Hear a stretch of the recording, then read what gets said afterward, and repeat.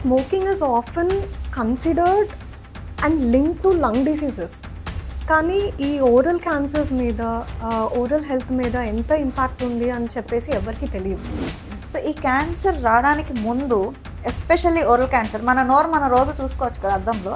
So ఈజీగా identify చేసే కొన్ని ఉంటాయి లక్షణాలు. పాయింట్ ఏంటంటే ఇప్పుడు ఈ వైరస్ వల్ల ఓరల్ క్యాన్సర్ ఎందుకు వస్తుంది అని అడుగుతారు. వస్తుంది it can spread through kissing it can spread through touching ఇప్పుడున్న లైఫ్ స్టైల్లో people are having multiple partners so sexually transmitted diseases are increasing increasing Increasing. Oral sex is yeah to cancer exactly weed hookah Ah. Pan ఇవి కూడా చాలా మంది చేస్తుంటారు I seen young adults and prime teenagers doing it Yeah. Smoking is been normalised Uh, there was once a reel where a woman she's holding her small baby Hmm, she's smoking there. The baby is coughing. And still she's smoking and making a reel